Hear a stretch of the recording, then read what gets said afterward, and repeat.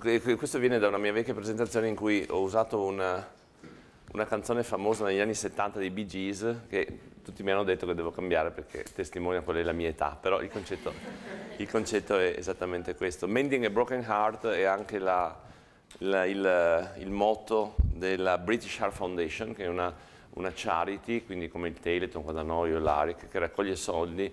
dal, dal, da, da cittadini inglesi e ogni anno raccoglie più di 500 milioni di sterline che poi distribuisce, distribuisce in, in, ricerca. Questo per dirvi quanto, quanto, è sentito il problema. Ed è sentito, eh, noi siamo un paese oscurantista ovviamente, retrogrado, ignorante, eccetera, quindi non abbiamo neanche, neanche una charity che raccoglie un milione per queste cose, però il problema è grave anche da noi perché una persona su tre muore di una malattia cardiovascolare che in poco più del 40% dei casi è l'infarto del miocardio, nel 6% dei casi è l'ictus eh, cerebrale.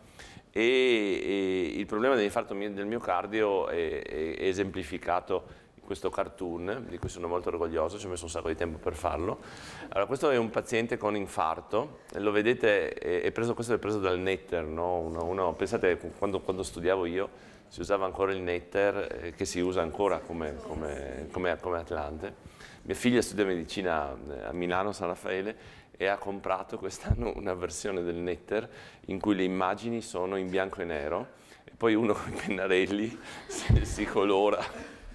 si colora le cose. Dice che però questo l'aiuta a studiare, a ricordarsi i tendini, i legamenti, cose. vabbè, interessante. Comunque vedete un paziente che eh, si mette la mano al petto, ha un dolore oppressivo al torace, porta una valigia, è freddo, c'è la neve fuori, è uscito da un ristorante da cui ha avuto un lauto pasto, tutti i fattori che in qualche maniera eh, predispongono. Ha questo grande dolore perché improvvisamente su una placca di aterosclerosi di una su, delle sue arterie coronari si è formato un trombo che ha bloccato improvvisamente la circolazione. Quindi c'è una regione del cuore che diventa ischemica e questa regione del cuore progressivamente eh, si trasformerà in una regione sempre, sempre più grande perché le cellule progressivamente moriranno e ci sarà una regione di necrosi nel cuore, il ventricolo sinistro e poi progressivamente questa regione verrà riparata formando una cicatrice perché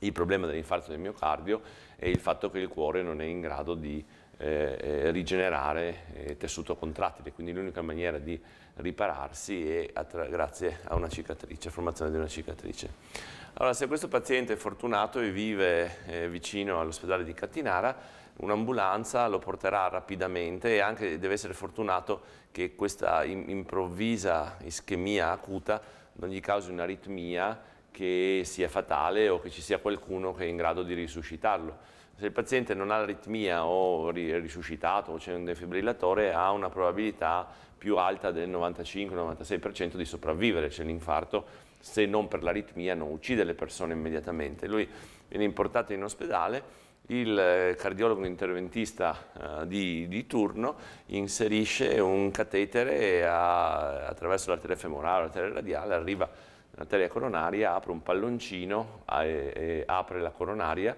e inserisce uno stent, una specie di impalcatura metallica che tiene aperta la, la coronaria. Ovviamente questo riduce il progressivo eh, aumento del danno e quindi se il danno era questa linea tratteggiata questo danno è molto più piccolo, però in realtà il, la stessa riperfusione causa un po' di danno per conto suo, quindi non è così piccolo come sarebbe, diventa un po' più grande questo danno perché è sempre meno di quello che ci sarebbe stato senza la, la, riperfusione, perché una maniera di danneggiare, il, specialmente il cuore, ma anche il cervello, è quello di causare un'ischemia acuta e poi riperfondere, perché questo causa un improvviso afflusso di ossigeno, i mitocondri rispondono producendo un sacco di specie reattive dell'ossigeno, reactive oxygen species, che sono fortemente, fortemente, dannose. Insomma, alla fine il paziente si ritrova con una cicatrice che è un po' più piccola di quella che sarebbe stato prima, ma è sempre là. Quello che noi vorremmo è un farmaco che possiamo iniettare in questo paziente che protegga il cuore dal danno successivo e quindi faccia diventare la cicatrice il più piccolo possibile e poi vorremmo un altro farmaco che possa essere iniettato a questo punto e che possa rigenerare completamente il eh, suo cuore. Non abbiamo né questo né questo. Questi rappresentano insomma, i grandi traguardi in questo momento della medicina sperimentale in cardiologia. Il problema, come vi dicevo, è mondiale perché l'Organizzazione Mondiale della Sanità stima che l'80% delle morti eh, per malattie cardiovascolari sia nei paesi in via di sviluppo ormai nelle grandi città metropolitane di Asia e di eh, Africa si muore più di malattie cardiovascolari, di diabete e di sindrome metabolica di quanto si muore di tutte le malattie infettive, infettive messe insieme. Noi lavoriamo per un'organizzazione internazionale che si occupa di eh, scienza anche in ambito medico per lo sviluppo internazionale che ormai cominciamo a ricevere eh, un sacco di richieste di collaborazioni non per la malaria, l'HIV o la biotecnologia delle piante, ma per la medicina rigenerativa, per il diabete, per questo tipo di problematiche. Voi direte ci sono delle, eh, dei farmaci, se io vado dal professor Sinagra lui mi dice ci sono sei farmaci che funzionano, nei pazienti che eh, hanno sviluppato un infarto, sono guariti dall'infarto, hanno fatto una cicatrice, ma questa cicatrice in qualche maniera ha compromesso la funzionalità cardiaca, per cui il cuore tende a dilatarsi e a non pompare bene, i pazienti entrano in una situazione di scompenso cardiaco in cui il cuore è dilatato e non riesce a contrarsi in maniera sufficiente da venire incontro al bisogno metabolico di ossigeno dell'organismo, situazione di scompenso cardiaco e effettivamente ci sono sei classi di farmaci, qui ho preso l'elenco dal sito della Mayo Clinic per testimoniare il meglio che c'è in questo momento al mondo, non lo standard of care, ma è la stessa cosa che trovate a, anche nell'ospedale più periferico, non occorre andare dal centro cardiovascolare di Sinagra, Beh, questi farmaci sono queste classi di farmaci qui mi sono divertito a vedere quando li trovate in, in PubMed, no? quando sono stati introdotti quindi nella letteratura scientifica e poi nella pratica clinica. E I farmaci sono digitali diuretici, che risalgono al 1910-1920 le prime citazioni, ma la digitale si dice che anche gli antichi egizi la usassero per i problemi di cuore. Negli anni 60 gli, eh, eh, eh, gli antagonisti dell'aldosterone e negli anni 70 i due farmaci che eh, eh, hanno un po' cambiato la storia del trattamento dello scompenso cardiaco e, e cioè i, i beta bloccanti e gli acidi inibitori. No? Questi hanno veramente cambiato completamente il trattamento dei pazienti, la prognosi eccetera. E poi negli anni 90 i sartani, quindi i, eh, i bloccanti del eh, recettore dell'angiotensina eh, 2. Questo vuol dire che un paziente che viene eh, ricoverato in questo momento in eh, eh, clinica, in unità coronarica qui a Trieste o alla Mayo Clinic è trattato con le stesse classi di farmaci con cui sarebbe stato trattato vent'anni fa. Cioè sono vent'anni che non c'è un farmaco, un farmaco nuovo. L'anno scorso è stato introdotto in commercio un farmaco eh, che è, è una combinazione di, si chiama LCZ 696, una combinazione di due farmaci, ciascuno dei quali, uno con un vecchissimo farmaco che, che, che, che, si usava, che da solo funzionava poco, l'altro addirittura inattivo, messi insieme funzionicchiano un po' meglio. C'è un farmaco in sperimentazione che invece è veramente innovativo, eh, che è una piccola molecola che aiuta la miosina cardiaca a contrarsi un po' meglio. Se voi ci pensate questo aiuta la miosina cardiaca, quando sappiamo meglio, tutti questi cercano di ottimizzare la contrazione del cuore e quindi di cercare di far funzionare meglio quel poco che è rimasto. Il più grande successo per uno, scompenso cardiaco sono soprattutto i device che aiutano a risincronizzare il cuore, lo assistono nel funzionamento, eccetera, ma non c'è niente neanche lontanamente che pensi a ricreare nuovo tessuto, nuovo tessuto cardiaco.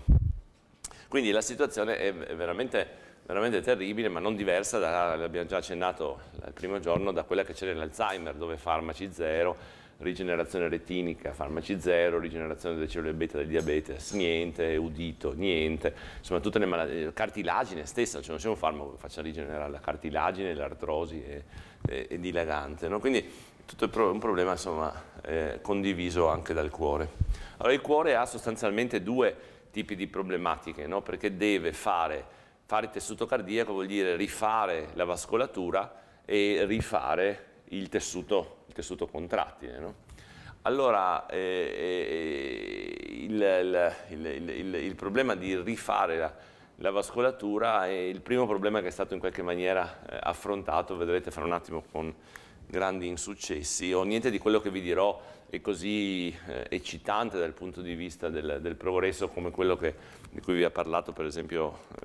eh, poco fa la professoressa Zacchigna, cioè vuol dire con farmaci che sono arrivati all'approvazione dell'FTA, che insomma si cominciano a utilizzare. Qui sono stati un sacco di tentativi perché la problematica è grossissima, stiamo ancora un po' brancolando nel buio.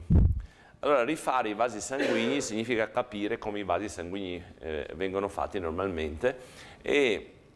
in un organismo adulto eh, il processo che porta alla formazione dei vasi sanguigni si chiama angiogenesi, che è un processo in cui i vasi sanguigni vengono fatti a partire da un vaso sanguigno che esiste, e cioè i, parte dai capillari e i capillari che ci sono cominciano a gemmare eh, del, eh, degli altri capillari e questa gemmazione è legata alle cellule endoteliali che cominciano a proliferare, uscire dai vasi, emigrare e quindi formano delle, delle ramificazioni. E poi successivamente questi vasi cominciano a acquisire anche una tunica media, quindi ci sono cellule muscolari lisce che seguono a una, dare un po' di parete a questi, questi nuovi capillari. Questa è l'unica maniera in cui si formano vasi sanguigni nell'adulto, perché di fatto in un organismo adulto i vasi sanguigni non si dovrebbero mai formare. Cioè in, un, in, un, uomo che eh, non ha nessun tipo di patologia non c'è mai angiogenesi. C'è angiogenesi soltanto quando c'è un tumore,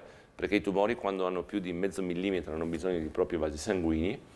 e, e quindi stimolano la formazione di eh, angiogenesi oppure nella donna durante il ciclo mestruale in cui c'è da, ehm, eh, legata sia all'ovulazione sia poi al, agli eventi che avvengono a carico della parete uterina, c'è formazione di vasi sanguigni. Oppure nell'uomo e nella donna soltanto quando c'è guarigione delle ferite, allora la, la guarigione delle ferite richiede angiogenesi, ma un uomo che non ha ferite ed è di sesso maschile e non ha tumori non ha angiogenesi. Nel corso dello sviluppo, invece, la formazione dei vasi sanguigni nelle prime fasi dello sviluppo segue un processo diverso in cui ci sono vere e proprie eh, cellule staminali, cioè c'è una cellula che è la stessa cellula che è comune al precursore del eh, sangue e quindi è quella che si chiama l'emmangioblasto che da un lato darà origine alla cellula staminale ematopoietica, dall'altro uh, è un precursore per le cellule dei vasi sanguigni, quindi è una cellula staminale che prolifera e, e, e la, la, parte dei vasi sanguigni è l'angioblasto e questi angioblasti proliferano e poi si differenziano in cellule endoteliali, quindi formano dei cordoni, le cellule che stanno all'interno del tubo muoiono per apoptosi, quindi si formano proprio dei vasi a partire da cellule staminali e questo processo si chiama vasculogenesi.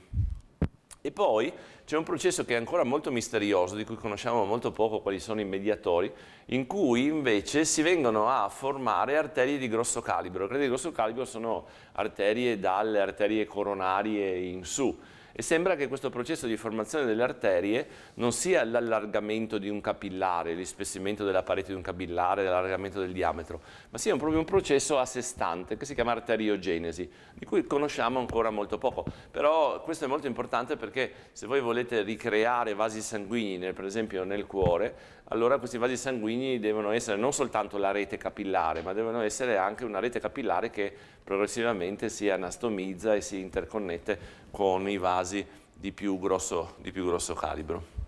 Quello che si è saputo eh, in un'intensa ricerca proprio in questo campo negli ultimi 30 anni direi, è che tutti questi processi sono sotto il controllo di una serie di fattori segreti, quindi di eh, growth factor, di fattori di crescita segreti, che interagiscono con recettori sulla superficie cellulare.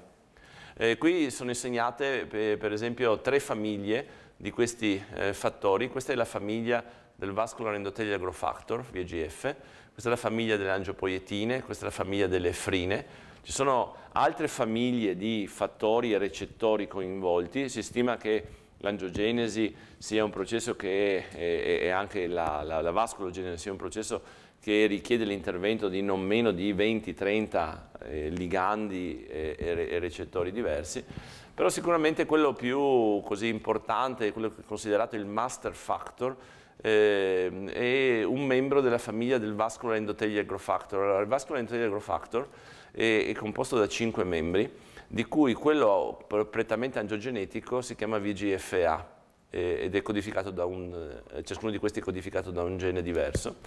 Eh, due di questi fattori, VGFC e VGFD, sono coinvolti nella linfangiogenesi, quindi nella formazione di vasi ma linfatici e non eh,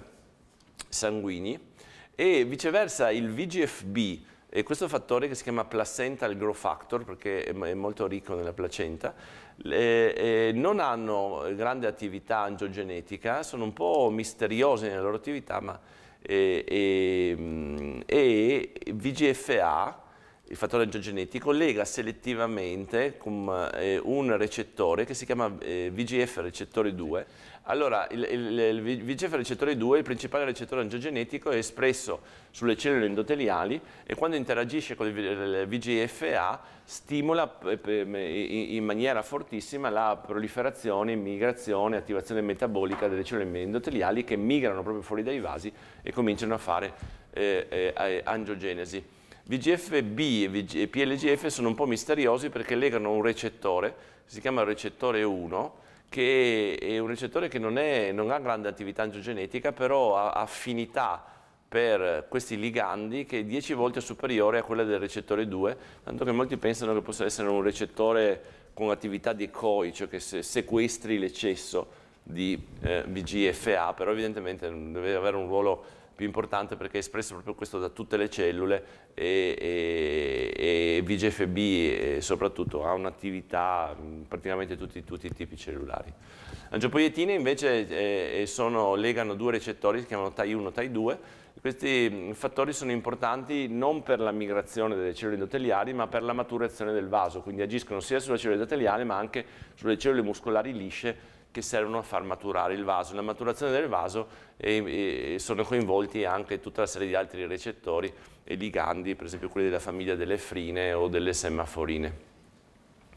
Allora la prima idea che era venuta in mente è dire, beh ma visto che sappiamo tanto di questi ligandi, proviamo a somministrare questi ligandi al cuore e vediamo se funzionano, se stimolano la formazione di vasi sanguigni, quindi se possono essere una terapia per la cardiopatia ischemica, no? quindi la cardiopatia che ha già portato un infarto, che potrà portare un infarto, oppure che anche senza l'infarto comunque compromette la funzionalità cardiaca. Allora, contrariamente a quanto uno potrebbe pensare, arrivare a iniettare qualcosa, qualsiasi cosa nel cuore è relativamente semplice perché la cardiologia interventistica ha sviluppato tecniche già molto avanzate per riuscire ad arrivare al cuore in diverse maniere, per esempio io posso arrivare al cuore mettendo un catetere in arteria eh, coronaria, oppure posso mettere un catetere all'interno del ventricolo e poi da lì iniettare direttamente nel cuore, posso arrivare nel pericardio e iniettare nel muscolo cardiaco attraverso il pericardio, posso entrare nel seno venoso del cuore e iniettare per via retrograda dal eh, seno venoso, eh, dal seno coronario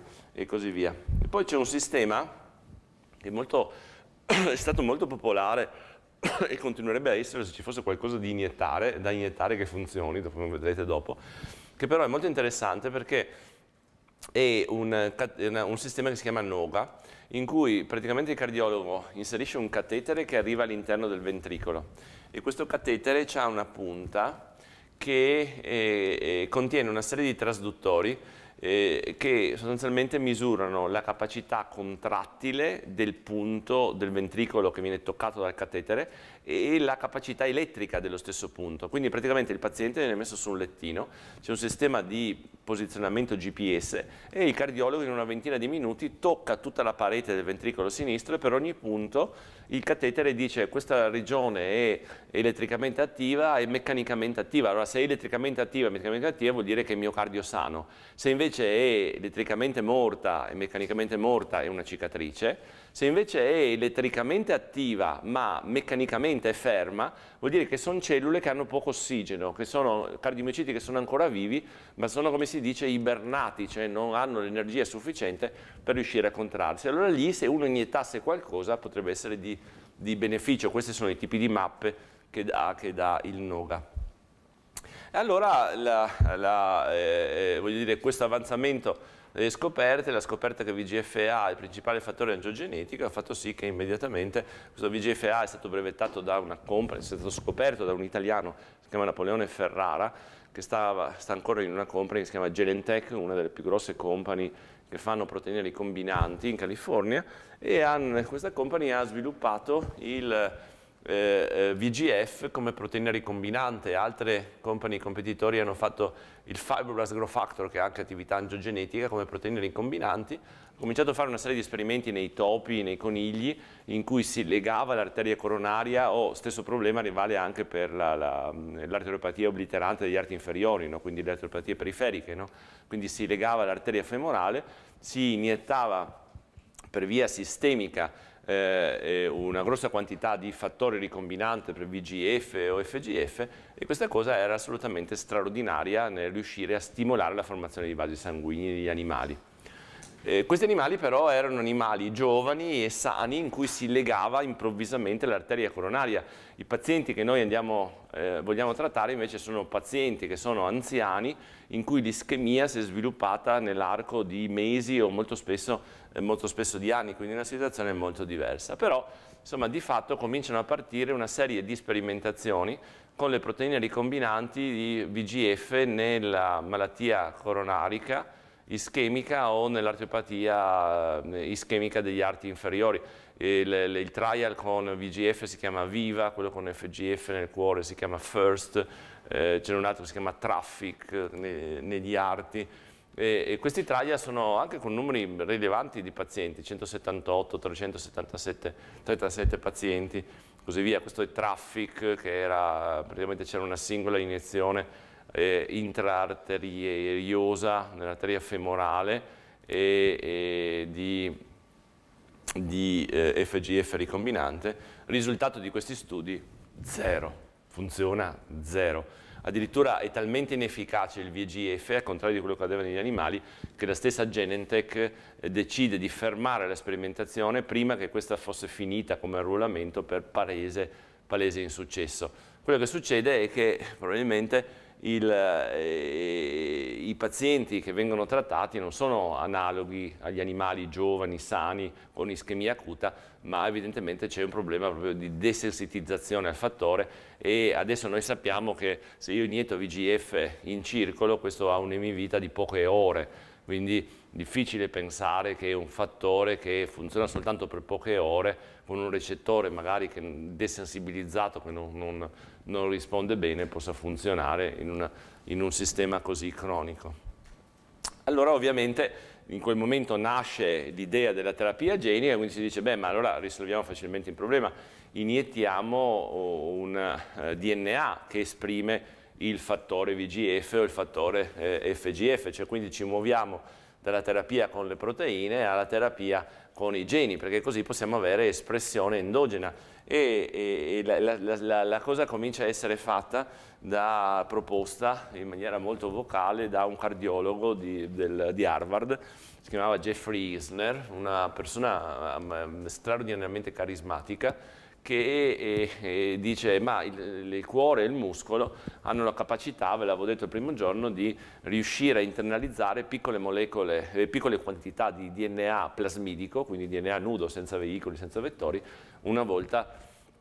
che questo è presente nell'ambiente extracellulare, quindi facciamo un plasmide che esprime VGF e proviamo a iniettarlo. Incomincia a farlo, questa è una diapositiva che lui proiettava, uno dei meeting, dice iniettiamo semplicemente un plasmide all'interno del muscolo eh, di un paziente con eh, ischemia critica degli arti inferiori, questo stimolerà la formazione di vasi sanguigni, la cosa funzionerà. E, e lui comincia a pubblicare una serie di lavori su, su giornali prestigiosi tipo la Lancet Circulation eh, e altri in cui utilizza questo plasmide, un plasmide che esprime una, una forma da 165 aminoacidi di VGFA nei pazienti con risultati assolutamente eh, straordinari. Lui ai meeting presentava le lettere dei pazienti, proprio le proiettava e diceva, ah, dottor Isner, lei mi ha cambiato la vita, prima io riuscivo a fare eh, neanche due metri, prima avevo la, la, la, il dolore, le gambe che mi impedivano di camminare, adesso riesco ad andare a fare una passeggiata in carso e, e riesco a, eh, a, stare benissimo. Persona molto carismatica finché però la comunità scientifica gli dice, ma insomma, cioè, cosa stai facendo? cioè hai due problemi in questa sperimentazione. La prima è di ordine eh, eh, proprio metodologico. Questi sono singoli casi aneddotici di pazienti con degli endpoint che sono per esempio la capacità di correre sul tapirulan, no? oppure la, la, la, lo spazio prima di avere dolore quando uno cammina, eccetera, però non sono obiettivi e non c'è niente come la sperimentazione cardiovascolare che risenta di un fortissimo effetto placebo, cioè si sa che nel cardiovascolare il paziente con un'angina gli si dà un po' di zucchero, un po' di acqua con niente dentro, gli si dice guarda questo è un farmaco te lo fa passare e gli passa veramente il dolore, cioè c'è un effetto placebo fortissimo. No? Quindi c'è bisogno che questi studi siano controllati. E poi c'era un piccolo vizietto di forma perché questo plasmide col VGF lui se lo produceva in una stanzina dentro il laboratorio dentro Harvard ed è quello che poi utilizzava per le sperimentazioni, quindi aveva un conflitto di interessi, di interessi non a poco. E, e, allora cominciano i primi test per eh,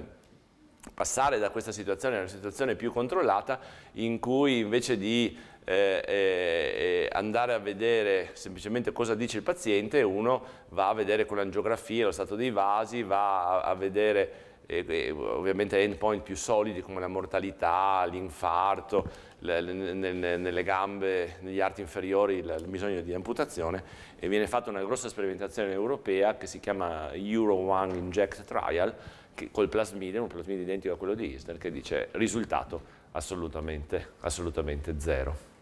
Uh, Isner poi eh, tra l'altro eh, paradossalmente eh, muore di un infarto devastante eh, in clinica in cui non sono riusciti a, a, a, a resuscitarlo, quindi insomma c'è una componente anche, anche, tragica.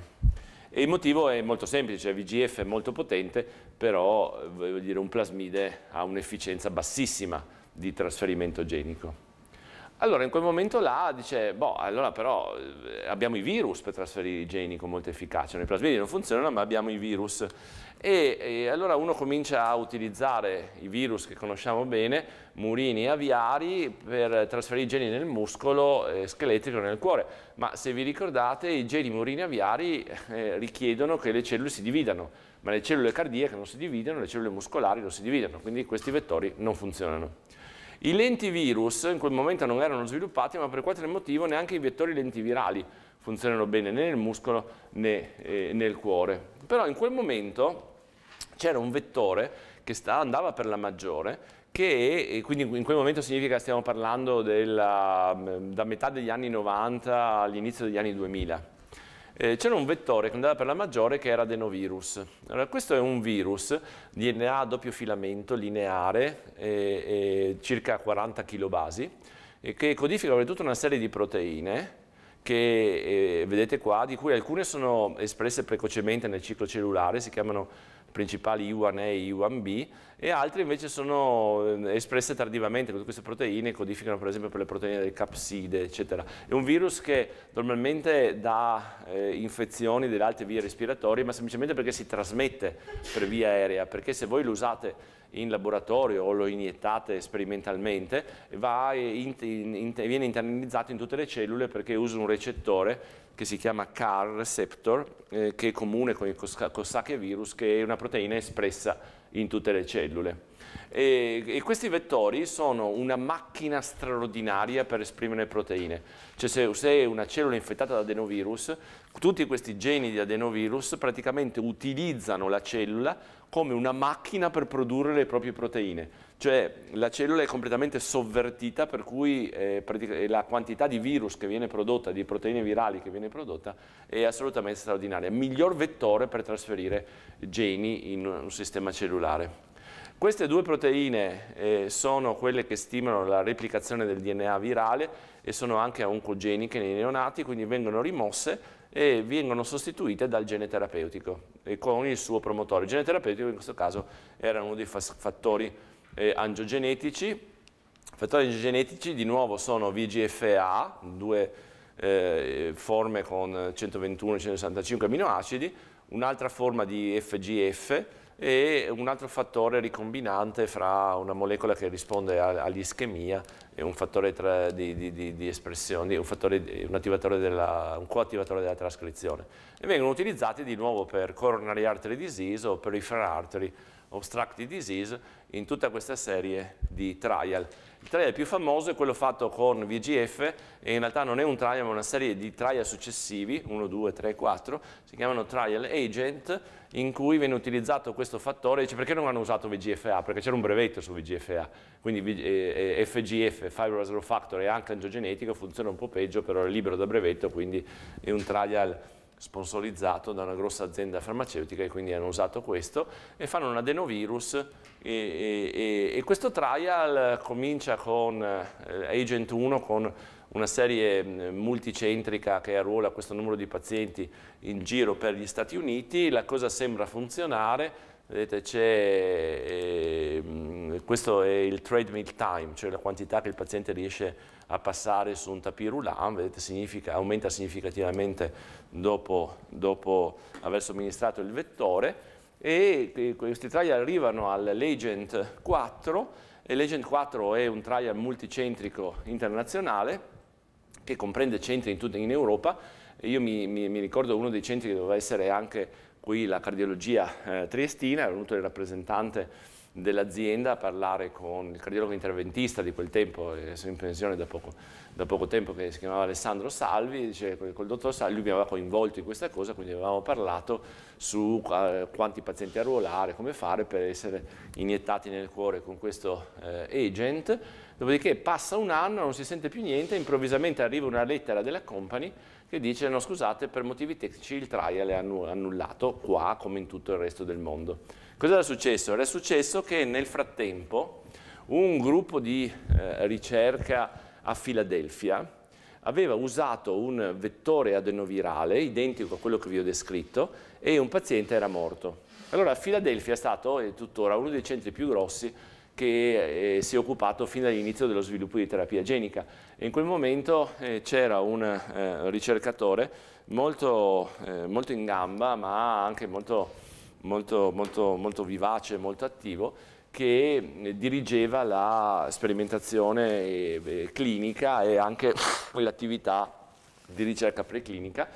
Eh, si chiama Jim Wilson, era anche il presidente dell'American Society di, di Gene Therapy al tempo, insomma una persona molto, molto in vista e eh, in pratica quello che era stato fatto avevano avuto l'autorizzazione dalla Food and Drug Administration per usare un vettore adenovirale per curare una malattia ereditaria che è il deficit di un raro enzima del ciclo dell'urea, cioè un deficit raro di un enzima del ciclo dell'urea che si chiama ornitina transcambamilasi, OTC, e avevano arruolato un paziente, il cui nome vi posso anche dire era Jesse Gelsinger, che aveva 19 anni, e gli avevano iniettato sembra per sbaglio, forse perché volevano forzare la, la cosa, gli avevo iniettato una dose 10 volte ciao, superiore a eh, quella approvata dalla Food and Drug Administration di vettore adenovirale con l'OTC nel fegato. Il paziente aveva avuto una improvvisa sindrome da rilascio di citochine, quello che si chiama il cytokine storm, e che l'aveva portato in, in shock e, e morte per multi-organ failure. Loro avevano cercato di nascondere questa cosa alla Food and Drug Administration, sembra che il Washington Post l'abbia saputa, l'hanno stata pubblicata e insomma è stato un grande scandalo e tutte le sperimentazioni con i vettori adenovirali sono state inizialmente bloccate e insomma la bottom line è che purtroppo questi vettori sono straordinarie macchine per trasferire geni ma sono fortissimamente immunogenici e fortissimamente proinfiammatori. Cioè una volta che uno inietta un vettore adenovirale stimola una grossissima risposta infiammatoria perché il vettore ha tutti gli altri geni del virus, no? se vi ricordate il gene terapeutico costituisce solo due geni ma tutti gli altri geni del virus ci sono e poi le, queste proteine sono molto immunogeniche per cui oltre all'infiammazione iniziale c'è anche una risposta del sistema immunitario per cui di fatto una cellula quando è trasdotta con un vettore adenovirale viene vista dal sistema immunitario come una cellula estranea e viene immediatamente rimossa dal sistema immunitario e, e come farebbe il sistema immunitario, fa il suo dovere come farebbe con una cellula infettata da un virus, tanto che se voi prendete un animale, gli date un vettore adenovirale e poi provate a riniettarlo dopo un mese non vedete neanche infezione e trasduzione perché ci sono talmente tanti anticorpi neutralizzanti che bloccano completamente il virus e così tutte le cellule trasdotte sono state completamente rimosse. Quindi eh, questi virus improvvisamente spariscono dall'utilizzo clinico da un giorno alla notte e, e rimangono con un'unica applicazione di cui parleremo domani, e cioè dove vogliamo infiammazione e dove vogliamo risposta immunitaria, cioè nella terapia dei tumori, nella terapia genica dei tumori è esattamente quello, quello che vogliamo. Nel frattempo cominciano a comparire i vettori AV, no? fantastici tool proprio per trasferire geni per sempre in maniera sicura nel muscolo e nel cuore e, e, e quindi molto semplice fare vettori AV che esprimono VGF. Vi faccio vedere un po' dei nostri nei nostri esperimenti siamo stati un po' fra i primi a utilizzare questi, forse i primi a utilizzare questi vettori per il VGF e se voi prendete un vettore AV che esprime VGF e lo mettete nel muscolo, qui la colorazione qui è per cellule CD31 positive, quindi cellule endoteliali, vedete quante cellule eh, circoletti di capillari si formano nel muscolo, queste sono le fibre muscolari tagliate trasversalmente, questa è una fettina di 80 micron fatta ruotare al microscopio eh, confocale, vedete dove è verde una cellula endoteliale, vedete questi enormi capillaroni che si formano dando VGF. Eh, la professoressa Zacchini ha contribuito in maniera fondamentale a, a questi studi in quegli anni eh, e, e, e, vedete che oltre a formare capillari si formano anche piccole arterie, arterie questa è una colorazione per eh, la, la, delle fibre ehm, eh, muscolari lisce, vedete queste sono arterie in un muscolo normale, queste sono arterie dopo un mese della somministrazione di un vettore eh, AAV. Eh, il problema è che quando uno va a vedere se questi vasi funzionano, e noi l'abbiamo fatto, eh, questo l'abbiamo fatto a Pisa, PET, questa è una PET clinica che abbiamo utilizzato in realtà per fare la PET ai ratti iniettati con, con VGF, e quando voi fate questo, questo tipo di eh, analisi, vedete che questo, il colore misura la perfusione, no? Questi, questo è un animale eh, iniettato col VGF, zampa iniettate col VGF, zampa iniettata con il controllo, vedete non c'è grande differenza, voi fate eh, esercitare questo animale mettendo degli elettrodi che fanno contrarre il muscolo, addirittura la perfusione eh, scende invece che salire. Perché i vasi che si fanno con eh, il VGF da solo sono dei vasi che sono eh, totalmente non funzionanti e totalmente permeabili. Per esempio questo è un muscolo che ha, è normale, in, cui, in, un animale in cui è stato iniettato un colorante che non dovrebbe uscire dai vasi. E questo invece è un muscolo iniettato con VGF e il colorante vedete stravasa all'interno del tessuto muscolare, il colorante blu e colora proprio colora proprio il muscolo. Quindi in pratica la, la terapia con VGF da sola invece di fare eh, eh, vasi sanguigni buoni fa queste grosse lacune vascolari, qualcuno le chiama emangiomi o eh, forme di tumori aberranti, in realtà sono gli stessi vasi che si trovano, dopo, eh, si trovano eh, nelle, nei tumori. Cioè queste sono capillari normali, questi sono visti al microscopio a scansione e questi sono gli enormi capillari che si formano nel tessuto tumorale. Il tessuto tumorale ama stare in una condizione di relativa, ha bisogno di ossigeno, ma ama stare in una condizione di relativa ipossia, perché una condizione di relativa ipossia fa crescere le cellule tumorali. Quindi evolutivamente eh, il tumore sviluppa un'angiogenesi basata sulla secrezione di VGF, senza la secrezione dei fattori che stabilizzano poi i vasi e che riescono a farli, a farli maturare. Quindi ci sono questi capillaroni enormi che danno ossigeno ma malamente e, e quindi consentono alle cellule tumorali di crescere in maniera, in maniera incontrollata. È quello che si chiama l'angiogenesi patologica, no? questa vasculatura tumorale confrontata con la vascolatura normale. Quindi siamo nella fantastica situazione in cui abbiamo un fattore straordinario ma non abbiamo nessuna maniera di controllarlo. Se lo diamo in maniera non controllata, questo non fa un'angiogenesi che ci possa servire. Morale della favola, da 10 anni, da 8 anni, la, non c'è nessuna novità in questo campo. Se uno riuscisse a trovare un sistema per esprimere in maniera regolata VGF, questo potrebbe essere utilizzato. Cosa fa la natura per esprimere in maniera regolata VGF? Quando un, una cellula è ischemica eh, si attiva un fattore di trascrizione che si chiama HIF1 che lega il promotore di VGF. Quindi VGF è espresso, stimola la formazione di vasi sanguigni e quindi il tessuto diventa non ischemico. Essendo non ischemico non c'è più il fattore di trascrizione IF1 e VGF è spento, quindi praticamente la natura ha evoluto un sistema in cui VGF viene prodotto solo quando serve. però questo non si riesce a mimare con i vettori virali e quindi in realtà come fare vasi sanguigni terapeutici, questa si chiama angiogenesi terapeutica, no? con la terapia genica, noi non riusciamo ancora a capire come fare. Bene, cos'altro possiamo fare con la terapia genica? Beh, possiamo cercare invece che di fare vasi di affrontare direttamente lo scompenso cardiaco, no? quindi eh, eh, lo scompenso cardiaco è una, una situazione molto complessa eh, anche dal punto di vista biochimico ed elettrico del cuore. Questo vi rappresenta il meccanismo normale di eh, ehm, eh, accoppiamento elettrico contrattile del cuore, cioè la, la contrazione cardiaca è eh, innescata da un trasportatore di membrana che si chiama NCX che fa entrare una piccola quantità di ioni calcio e questa piccola quantità di ioni calcio attiva un eh, canale di membrana eh, che, eh, che, si chiama i canali del calcio di tipo L che fa entrare una grossa quantità di ioni. E questa quanti grossa quantità di ioni stimola la, il rilascio da parte della membrana del reticolo endoplasmico del cellule cardiaco di calcio il calcio si lega alla troponina C e questa è quella che innesca il, la contrazione. Uh, dopodiché tutto questo calcio che sta nel citoplasma, qui siamo alla fine della sistole, deve essere ricaptato nella diastole e lì c'è una pompa di membrana che si chiama, fosfo, che si chiama Serca 2A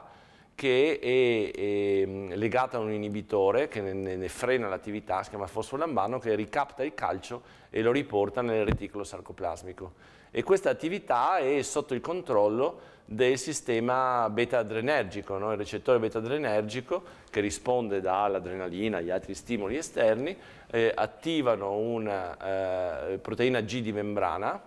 e questa proteina G di membrana è accoppiata all'adenilato ciclasi che produce CAMP che attiva la proteina chinasi A che fosforila il fosfolambano e ne regola l'attività. No? Quindi questo è il ciclo di eh, eccitazione e contrazione cardiaca. Nello scompenso cardiaco è tutto alterato perché i livelli di SRH2A sono molto ridotti, quindi il calcio rimane nel citoplasma, quindi non riesce a essere ricaptato nella, nella, nella diastole. I recettori di arenodina sono anche alterati e non funzionano bene. E, e, e, il recettore beta-adrenergico cerca di supplire a questo stimolando sempre di più, ma stimolando sempre di più in realtà porta il cuore in un loop disfunzionale.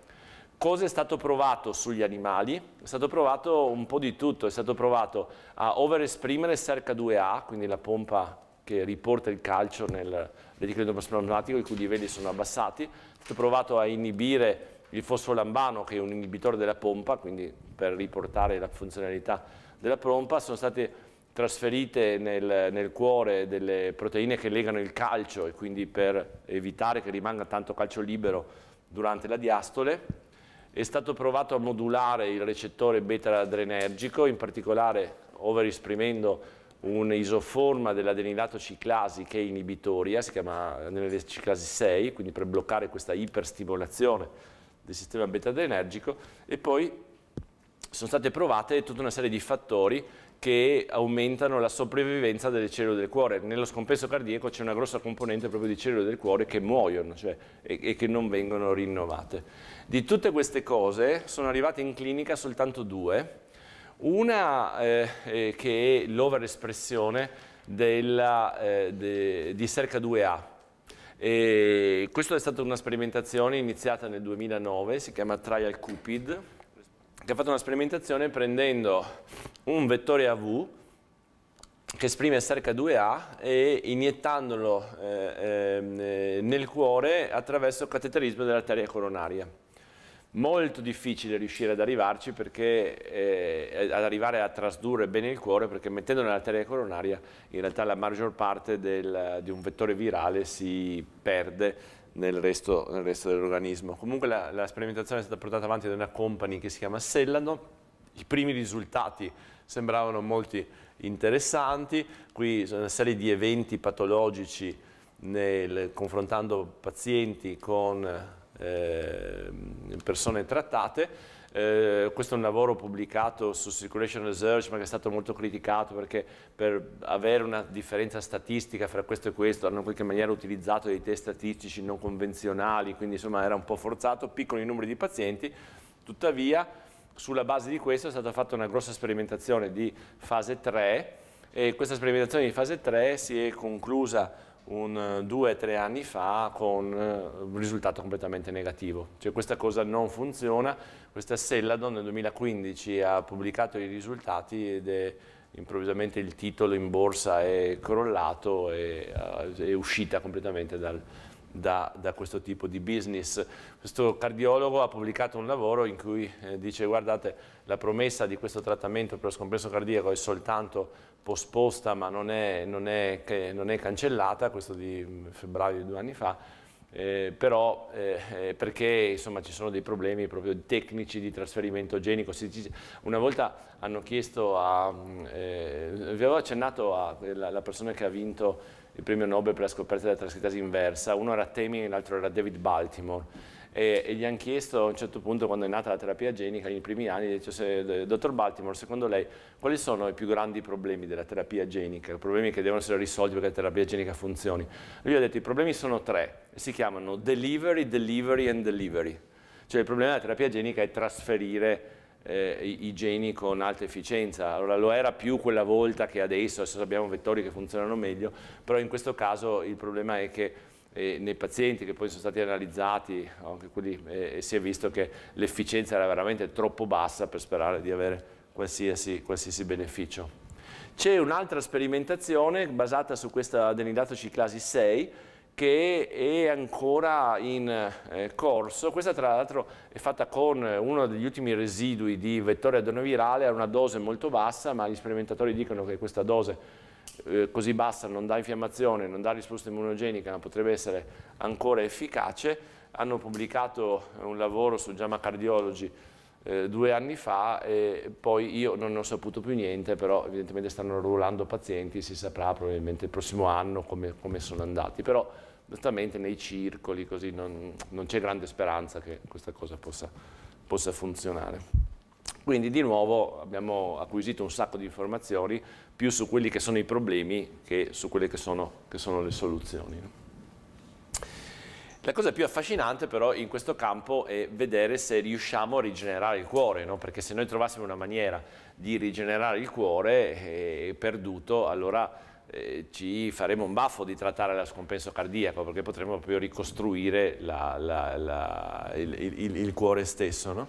E il cuore è effettivamente un organo post-mitotico. Non so se qualcuno vi ha eh, raccontato di questo fantastico esperimento fatto qualche anno fa al Karolinska dosando col C14. In pratica eh, nel, negli anni 70 c'era stata una serie di eh, ordigni nucleari fatti scoppiare nell'atmosfera, quindi era aumentato moltissimo la quantità di C14 nell'atmosfera e dall'atmosfera poi si era sparso questo C14 radioattivo in tutti gli esseri viventi la cui chimica è basata sul C14, quindi se uno andava a dosare, non so, nella corteccia di una pianta, la, negli anelli di un albero, la quantità di C14, vedeva che c'era questo picco, poi c'è stato una, una, un trattato che fra, fra, Russia, Inghilterra e Stati Uniti che aveva bloccato la proliferazione dei test nucleari nell'atmosfera e, e, questa quantità era scesa. Allora praticamente questi eh, eh, ricercatori di eh, del Karolinska hanno fatto una, un dosaggio, eh, eh, hanno fatto un esperimento in cui hanno preso il DNA del cervello prima, del cuore dopo, eh, di persone nate a tempi diversi e si sono chiesti se la quantità di C14 che era presente nel, scusate, la quantità di C14 che era presente nel momento dell'analisi, diciamo l'anno dell'analisi nel DNA del loro cuore, era quella dell'anno dell'analisi o quella dell'anno in cui erano nati, non li avevano scelti a cavallo del picco di eh, C14 nell'atmosfera. E mentre la quantità di C14 delle cellule dell'intestino, per esempio, che si replicano, è quella del momento in cui uno le analizza, la quantità di C14 delle cellule del cervello e anche delle cellule del cuore è quella del momento in cui la persona è nata. Cioè, do, dopo che uno è nato, queste cellule non, non si replicano e si stima che praticamente una persona di 75 anni abbia più del 50% del cuore che è esattamente fatto delle stesse cellule con cui la persona è nata, cioè queste cellule si contraggono miliardi di volte ma sono esattamente le stesse, le stesse cellule.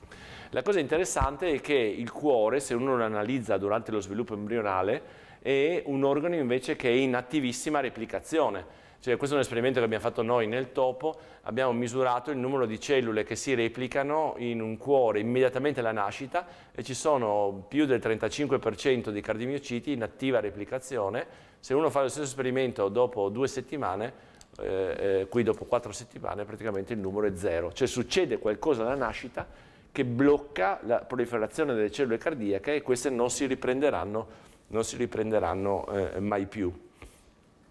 Cosa blocca la proliferazione delle cellule cardiache? Beh, sicuramente la tensione di ossigeno, cioè la differenza fra il cuore nel ventre della madre, del feto nel ventre della madre e il cuore alla nascita è che nel ventre della madre il cuore del nascituro è un organo venoso e quindi ha una tensione di ossigeno molto bassa, è lontano dai polmoni, lontano dal cuore della madre. Viceversa, quando nasce è invaso dall'ossigeno che il bambino respira e questo è un segnale, questo è un lavoro fatto da un ricercatore che sta in Texas, a cui abbiamo partecipato anche noi, e, e questo è un segnale che blocca la proliferazione dei cardiomiociti.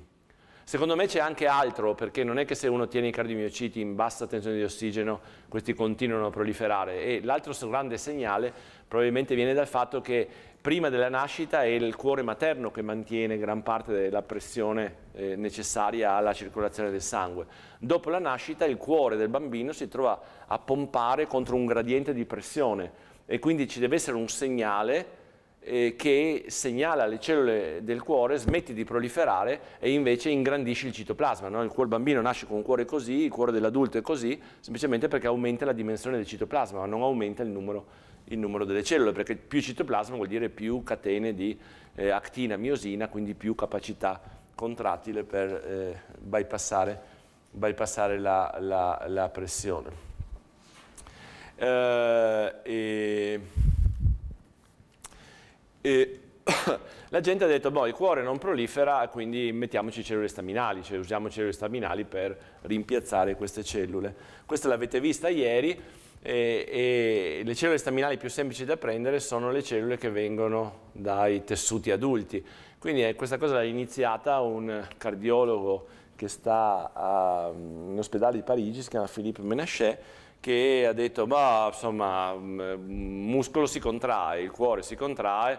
perché dobbiamo prendere le cellule del cuore che si contraggono? Prendiamo le cellule del muscolo, dove sappiamo ci sono le cellule staminali, tanto sarà tutta la stessa roba, no? Giusto?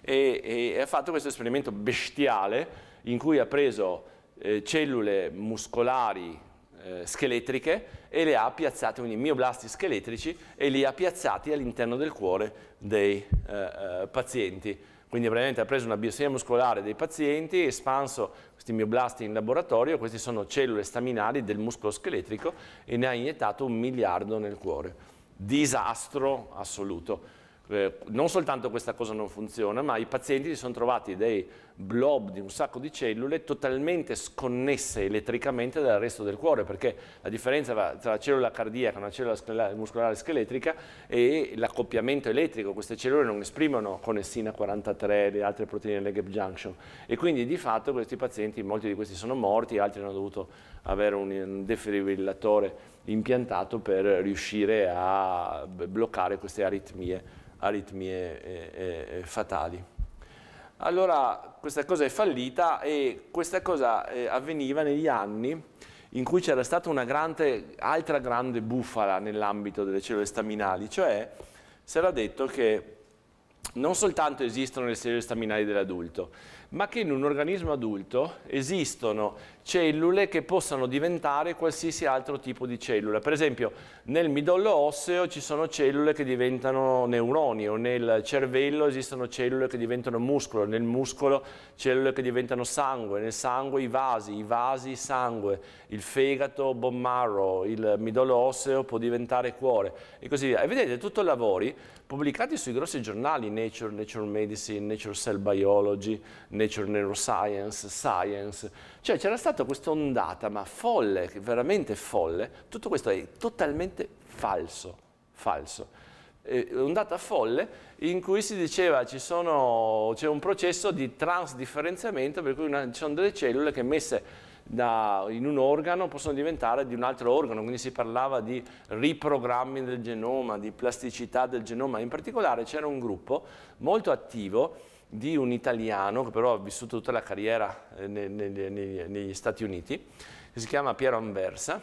che in quel momento stava a New York, New York Medical College, e poi è stato, grazie a questi studi, reclutato a Harvard, che diceva, guardate, se io prendo le cellule del midollo e le metto nel cuore, dopo l'infarto del topo, queste rigenerano il cuore, ma non rigenerano poco. Cioè lui diceva, io posso prendere un milione di cellule, le, dopo l'infarto, le metto nel cuore e rigenerano fino al 70% del tutto il cuore in 9 giorni rigenerano quindi le cellule muscolari lisce, la vascolatura, i fibroblasti, l'anatomia, quindi una cosa assolutamente, assolutamente straordinaria. Contemporaneamente un sacco di altri gruppi in, in giro per il mondo eh, dice ma guarda che nel midollo osseo non ci sono solo queste cellule che diventano cuore, ma ci sono anche cellule che diventano vasi, cioè ci sono delle cellule che sono dei progenitori eh, dei vasi, quindi le hanno chiamate endothelial progenitor cells, EPCs, che sono in grado di proliferare e poi di trasformarsi in cellule endoteliali, quindi non è vero il dogma dei libri di testo che la, i vasi sanguigni nell'adulto si formano soltanto per angiogenesi da un vaso che esiste, ma esiste la vasculogenesi anche nell'adulto, non soltanto nell'embrione. E quindi cominciano a comparire tutta una serie di studi che usano queste EPC per rigenerare il cuore, ma anche, anche qui, qui, in Italia c'è stata un'epidemia di diabetologi, nefrologi, cardiologi, biologi clinici, vascolari che misuravano le EPC nel sangue correlandole con le malattie, quindi il diabete era dovuto a un difetto delle EPC, cioè tutta spazzatura, tutta spazzatura completa. Un gruppo giapponese pubblica addirittura sull'Anset che uno può prendere cellule di midollo osseo, le mette in pazienti con ehm, eh, arteriopatia obliterante degli arti inferiori, questi fanno rigenerare completamente, completamente eh, i vasi. Ci sono, secondo certi lavori, addirittura delle cellule nel midollo osseo che riescono a bypassare anche la barriera della gastrulazione, dei foglietti embrionali. No? Per esempio, secondo una serie di studi, nel midollo osseo ci sono eh, le cellule staminali ematopoietiche, che possono diventare cardiomiociti, endoteli e cellule muscolari cardiache. Però all'interno di queste ci sono cellule che possono diventare addirittura neuroni. I neuroni eh, eh sono un prodotto del, del, del, di un foglietto embrionale diverso dalle altre che si derivano invece dal, dal mesoderma. E poi ci sono delle cellule invece delle stromali, che sono chiamate cellule mesenchimali staminali, che possono diventare anche questi neuroni e tutti gli altri tipi cellulari. Un grosso laboratorio di Stanford pubblica una review su Cell che dice ah, guardate nostro, la nostra circolazione è una specie di autostrada in cui circolano le cellule staminali a seconda dell'uscita che trovano possono diventare cuore, muscolo, fegato e, e così via. E sulla base di questo cominciano un, tutta una serie di sperimentazioni per rigenerare il cuore. No? Vedete, qui siamo appena qualche anno dopo di questo boom del transdifferenziamento delle cellule e vedete in giro per il mondo, in Europa, negli Stati Uniti, cominciano ad essere veramente già centinaia i pazienti che, che vengono, vengono trattati. C'è un reclutamento aggressivo addirittura sul, uh, sul uh, web finché qualche anno dopo cominciano a comparire le prime analisi controllate di questi studi risultato drammaticamente negativo. Vedete, questa è la prima meta-analisi pubblicata nel 2006 dal New England Journal of Medicine sui primi cinque studi controllati, sono, hanno questi nomi qua. Vedete, questo studio aveva iniettato 2.5 miliardi di midollo non frazionato, cioè ma vi immaginate un paziente con ischemia cardiaca in cui gli iniettano 2 eh, miliardi e mezzo di cellule del midollo osseo, gli eritroblasti, i precursori dei linfociti, i precursori delle piastrine, tutte le, le cellule mesenchimali, cioè delle porcherie mm, mm, spaventose. Queste almeno avevano eh, recuperato le cellule mononucleate 3 per 10 alle 8 cellule. Vedete, a 18 mesi no significant difference in ejection fraction fra trattati e controlli, no significant difference, no significant difference. Qui c'è una piccola differenza, cioè nella frazione di iniezioni misurata in ecocardiografia c'è 2.9 di differenza. Questo vuol dire che in una tecnologia, in un'applicazione che dipende molto dall'operatore come l'ecocardiografia, vedono che il paziente invece di avere, non so, 35 di frazione di iniezione ha 37,9 quando la normalità è fra 70 e 80, vi rendete conto? La differenza fra la statistica, la significatività statistica e la significatività medica o biologica e contemporaneamente la gente si accorge che tutte queste sono balle, no? dice guardate quello che voi vedevate come trans, differenziamento, plasticità è semplicemente un artefatto eh, eh, sperimentale, eh, un paio di gruppi in, in particolare eh, Chuck Marley, quello che vi ho detto ieri che eh, che inietta cardiomiociti da cellule staminali nel cuore, fa un esperimento in cui cerca di ripetere gli esperimenti di Anversa mettendo cellule di midollo nel cuore non vede assolutamente niente. E questo invece è un, uno dei più famosi eh, ematologi sperimentali americani di Stanford, Irving Weissman, e fa un esperimento in cui eh, di nuovo inietta cellule staminali di midollo nel cuore e vede che queste fanno le cellule staminali se, di midollo, cioè fanno globuli rossi stavolta nel cuore, ma certamente non diventano, non diventano cellule eh, ematopoietiche, non cellule di cuore. Quindi tutta questa eh, ondata viene completamente, completamente spazzata via. E, faccio vedere questo perché è carino. La, eh, un, ehm, nel 2014 la, la, la, professoressa Zacchigna manda un lavoro a questa rivista che è Stem Cell Reports, che è la rivista ufficiale della più accreditata eh, società per le cellule staminali, no? in cui in questo lavoro avevamo preso delle cellule staminali mesenchimali del midollo e per altri motivi avevamo sviluppato dei metodi di purificazione e, e, e quindi volevamo pubblicarli. Questi dicono ah benissimo abbiamo, abbiamo, visto che tutto questo va bene, ve lo pubblichiamo, però dice a patto che voi sostituiate la S di staminali con la S di stromali, cioè loro, questa rivista ufficiale dice noi non vogliamo neanche più sentir parlare che esistono cellule mesenchimali, stromali nel midollo e le MSC, la S deve stare per stromali e non per staminali, perché staminali non esistono. Questo vi dà un'idea di come sia shiftato completamente il campo. Questo è Irving Weissman e questo è il titolo di una review che ha detto A Time for Reappraisal, Little Evidence for Developmental Plasticity of Adult Hematopoietic Stem Cells. Queste sperimentazioni però diverse di queste un piccolo beneficio l'avevano dato, vedete questa è una meta-analisi, se c'è zero vuol dire nessun effetto, se da questa parte vuol dire che di media c'è un piccolo effetto, qui la misura della frazione di iniezione, quindi di nuovo questo parametro ecocardiografico, e effettivamente vedete c'è un 2%, 3% di miglioramento di media, e la conclusione è che queste cellule semplicemente funzionicchiano un po', non perché rigenerano, ma perché sono cellule fresche, giovani, messe in un ambiente ischemico, probabilmente producono fattori di crescita che aumentano un po' la contrattilità, la formazione di vasi, quindi hanno un effetto, come si dice, paracrino.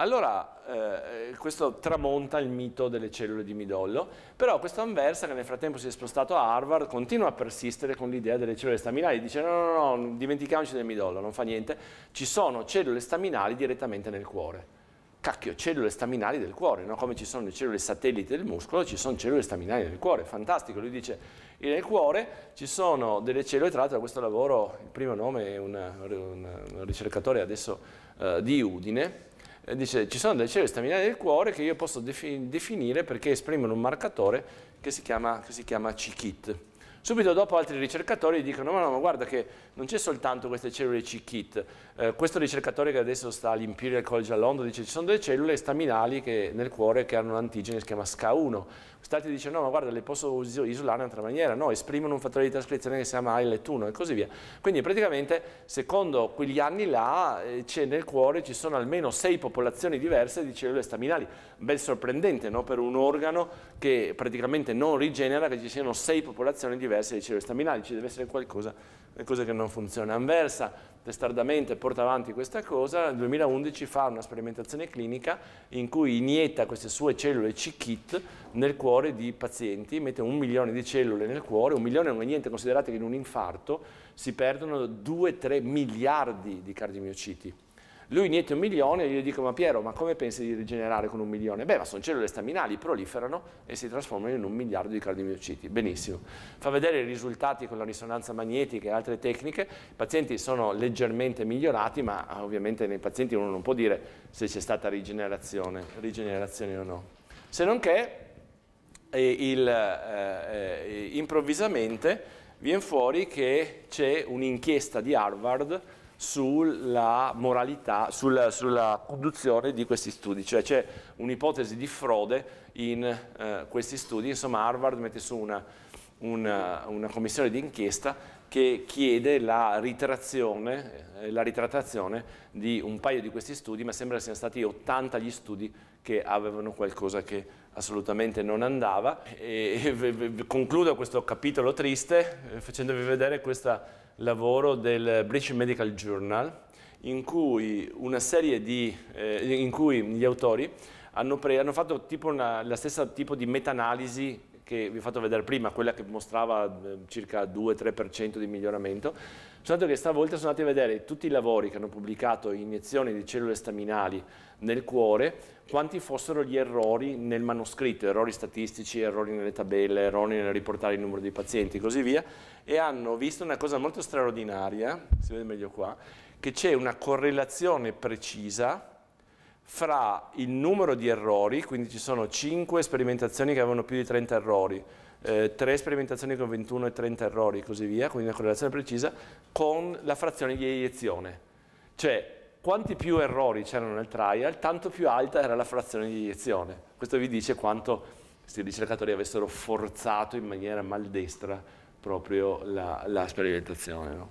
E, e, e, quindi questa cosa insomma adesso è tramontata, questo è un editoriale di aprile dell'anno scorso su Nature Biotechnology, dice insomma smettiamo di fare queste stupidaggini di iniettare cellule staminali nel cuore perché non ci sono cellule staminali che siano in grado di rigenerare il cuore, c'è stata una grande quantità di spazzatura, ci sono anche libri spazzatura, vedete Miracle Stem Cell Heart Repair, cioè tutta spazzatura, spazzatura, spazzatura che insomma fa, fa tristezza. C'è un, una, un, clinico cardiologo molto bravo in Olanda, si chiama Peter Devenans, da cui ho preso questa diapositiva,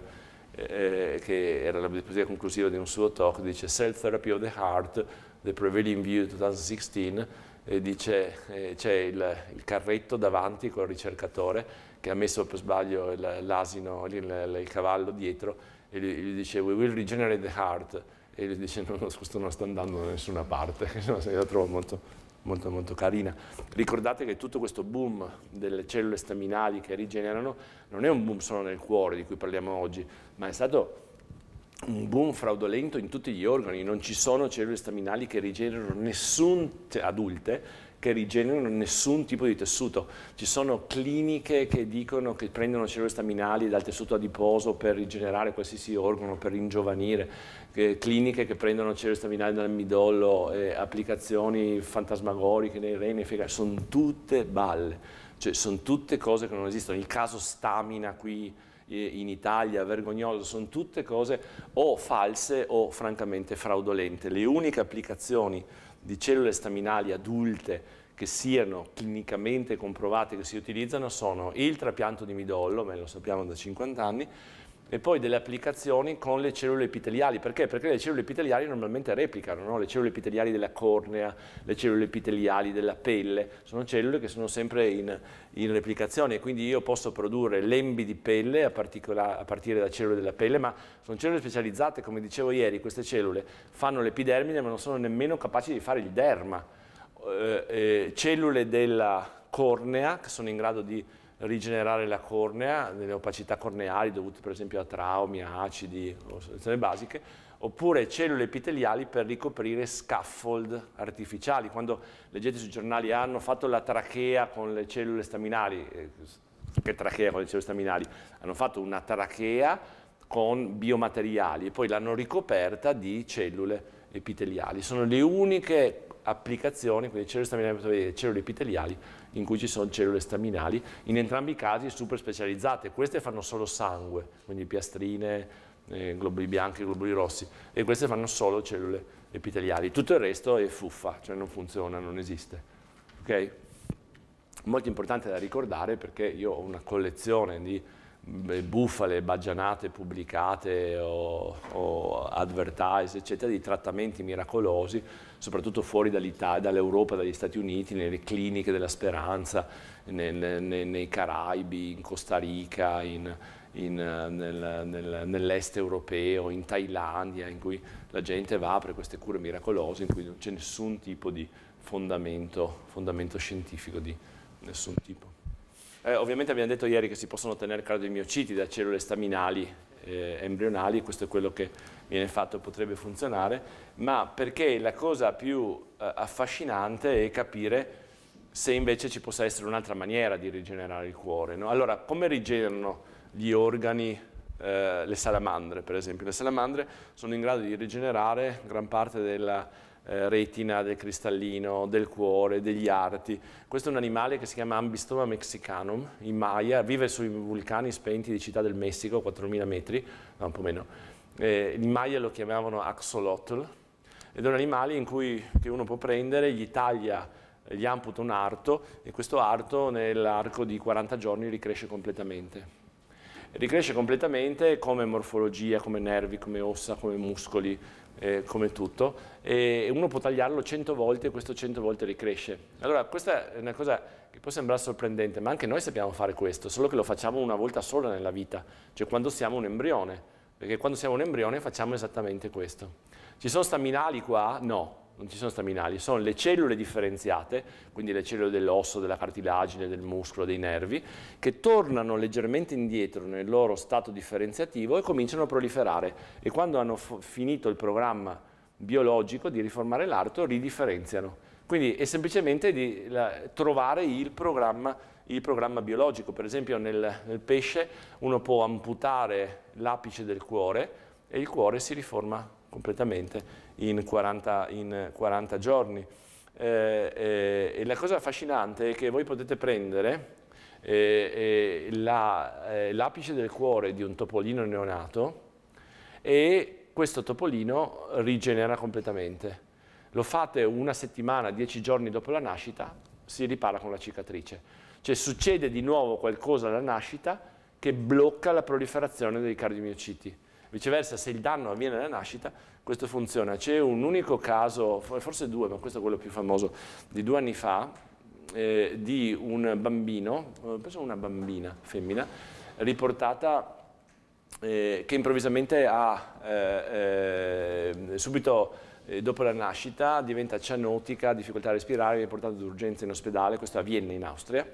e le viene diagnosticato un infarto acuto, cosa rarissima in un bambino neonato, ma questa bambina veniva da una famiglia con un difetto genetico nella coagulazione, quindi ha avuto la sfortuna di fare un trombo nell'arteria coronaria. Eh, viene eh, ovviamente ehm, ehm, sottoposta a tutto il, il, il, meglio della terapia, non si può fare cateterizzazione in un bambino così piccolo, quindi fanno trombolisi, il trombo viene sciolto, c'è un grosso danno miocardica, la bambina viene sostenuta, viene seguita, sta sempre meglio, sempre meglio, sempre meglio, la rivedono dopo un anno, non c'è traccia di cicatrice. Cioè come il topolino che è stato danneggiato alla nascita ed è stato capace di rigenerare completamente. Quindi esiste un programma biologico nei nostri cardiomiociti che sarebbe in grado di farli proliferare, ma in qualche maniera loro sono bloccati e non riescono a farlo. E quindi insomma l'idea che noi abbiamo è quella di stimolare la rigenerazione cardiaca stimolando, senza cellule staminali, ma cercando di stimolare la capacità endogena dei cardiomiociti di proliferare e quello, lo, una delle maniere in cui lo facciamo è utilizzando, eh, andando a cercare se esistono nel genoma umano dei microRNA che sono in grado di stimolare proprio la proliferazione cardiaca. Voi sapete che il genoma contiene eh, 20.000 geni che codificano le proteine, però oltre a questo ci sono circa 2.000 geni che codificano per piccoli RNA regolatori che si chiamano microRNA. Sapete cosa sono i microRNA? Ve ne hanno parlato. In pratica eh, questi eh, circa 2000 geni vengono trascritti nel nucleo e formano questa struttura forcina. C'è un complesso di proteine che si chiama microprocessore che li trasforma in una eh, struttura forcina con un'ansa eh, di circa una settantina di nucleotidi, questi vengono sportati nel citoplasma, qui c'è un altro complesso di proteine che li processa finché diventano DNA a doppio filamento di 21-22 nucleotidi eh, di RNA. E uno di questi due filamenti di RNA si associa con un complesso di proteine per cui eh, grazie a questo complesso, grazie all'appaiamento delle basi, Ciascuno di questi si associa con eh, decine o anche centinaia di geni diversi e ne sopprime la traduzione o causa la, la, la, la distruzione dei loro RNA. Quindi sono dei grandi regolatori dell'espressione genica e praticamente non c'è processo in biologia da, dallo sviluppo alla trasformazione tumorale al differenziamento, a qualsiasi cosa vogliate nominare, in cui uno o più microRNA non siano coinvolti. Quindi un po' di anni fa ci siamo chiesti se esistono dei microRNA che stimolano la proliferazione cardiaca, ne abbiamo trovato, le cellule cardiache ne abbiamo trovato una quarantina e effettivamente questi eh, li abbiamo messi all'interno di un vettore AV, i geni di questi, i due più efficaci si chiamano microRNA 590 e microRNA 199A, e messi all'interno di un vettore AV e messi nel cuore dopo l'infarto stimolano la rigenerazione del cuore. Vedete questo è un cuore, questo è il ventricolo sinistro, questo è il ventricolo destro, questa è la parete libera del ventricolo sinistro con un grosso infarto che progressivamente diventa una grossa cicatrice. Qua praticamente un uomo non vivrebbe mai con un infarto così grande, i roditori riescono a farlo. No? E invece questo vedete sono due animali che hanno ricevuto un vettore AV che esprime 590 o 199 e praticamente rigenerano il cuore. E vi lascio facendovi vedere tanto gli ultimi esperimenti che stiamo scrivendo il lavoro, adesso non è ancora pubblicato, ma sono molto eccitanti, che è l'effetto di questi AV nei grossi animali, cioè rigenerare il cuore di un, di un topolino che è così piccolo è relativamente facile, il cuore di un maiale è grosso. E questi sono esperimenti fatti a Pisa, alla scuola Sant'Anna, quindi praticamente maiale legata all'arteria coronaria, si induce un infarto, che è questa regione pallida, e sul bordo dell'infarto 10 iniezioni in cui si inietta un vettore AV che esprime questo, questo microRNA e, e poi la funzione è valutata con la risonanza magnetica, vedete guardate soltanto la frazione di iniezione che è sempre questo dato di funzionalità cardiaca, vedete a due giorni dall'infarto nel gruppo di controllo in bianco, nel gruppo trattato con questo AV, non c'è differenza, andate a vedere a 28 giorni la frazione di iniezione è calata, quindi questo è lo scompenso cardiaco nel maiale, nel gruppo di controllo, mentre praticamente è quasi normale nel, nel gruppo trattato con l'AV. Questi sono altri parametri di funzionalità cardiaca. Andate a vedere eh, a distanza di 28 giorni, vedete che la rossa fibrosi, la fibrosi qui colorata in blu, tessuto muscolare in rosso, rossa fibrosi nel controllo, molta meno fibrosi, quindi più cellule muscolari nel trattato. E la cosa affascinante è questa, queste sono immagini di, di risonanza, vedete questo è un cuore eh, a un mese eh, di controllo, eh, trattato col controllo, vedete questo è il ventricolo sinistro molto dilatato, la, questo è il setto, una parete molto molto sottile, questo è il ventricolo, ventricolo destro, tutto il cuore è molto più grande e questi sono due animali Oh, scusate. E questi sono, ecco, questi sono due animali invece che hanno ricevuto il 199, vedete il ventricolo sinistro è molto più piccolo, c'è molto più muscolarità, non c'è assottigliamento, vedete anche la contrazione è molto, molto, molto più cinetica, vedete la parete anteriore qua è praticamente immobile, invece qua vedete come si contrae bene, no?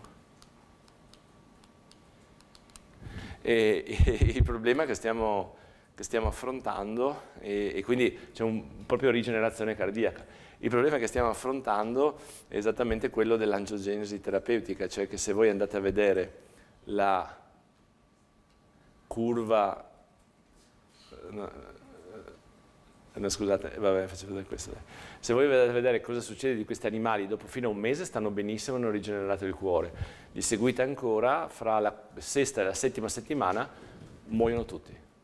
Muoiono tutti di morte elettrica, cioè vanno incontro improvvisamente a fibrillazione ventricolare, il cuore si ferma e muoiono, perché è talmente forte la rigenerazione stimolata da questi vettori AV, si formano delle isole di cellule non ancora mature, che in qualche maniera interrompono i circuiti elettrici del cuore e questi animali muoiono. Fortunatamente però qua, a differenza dei geni che codificano le proteine come VGF, questi microRNA possono essere somministrati direttamente come farmaci e, e, e quindi in pratica l'idea è quella, e questo l'abbiamo già, già fatto nel topo, praticamente prendiamo il microRNA nudo come molecola a doppio filamento di RNA e lo iniettiamo direttamente nel cuore. Vedete, lui praticamente viene degradato ma con una cinetica per cui a 12 giorni ce n'è già ce n'è ancora un sacco nel cuore e questa è sufficiente per riuscire a far replicare i cardiomiociti e a far riparare gli infarti. Quindi basta una singola iniezione di questo microRNA perché questi grossi infarti diventino piccoli infarti e la funzionalità cardiaca, cardiaca continui. No? Cioè, questo è un, un cuore in cui abbiamo iniettato, questo è il segno del lago, cui è stato iniettato, e questi sono cardiomiociti che hanno il nucleo rosso perché uh, sono passati attraverso la fase S, hanno incorporato un nucleotide che può essere visualizzato e quindi questo è un cardiomiocita, questo è un cardiomiocita che si è replicato grazie a questi microRNA, vedete questi sono altri cardiomiociti. Il, il primo, primo, autore di questo paper è, è, è Pierluigi Lesizza che è uno specializzando cardiologo qua a Trieste questo lavoro ha, ha vinto il, eh, il, premio come uno dei cinque lavori eh, più influential nella cardiologia sperimentale del 2017. Abbiamo avuto una grossa premiazione a, a Los Angeles eh, nel corso del meeting dell'American Heart Association. Quindi insomma speriamo di portare avanti questa cosa verso la clinica.